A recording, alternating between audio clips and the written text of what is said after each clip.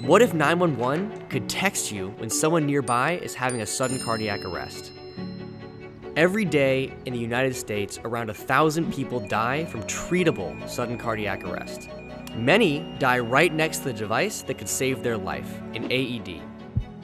This is because most people don't know where AEDs are in the critical moments when they're needed, and people who do have AEDs only have a chance to use them if they're in the right place at the right time.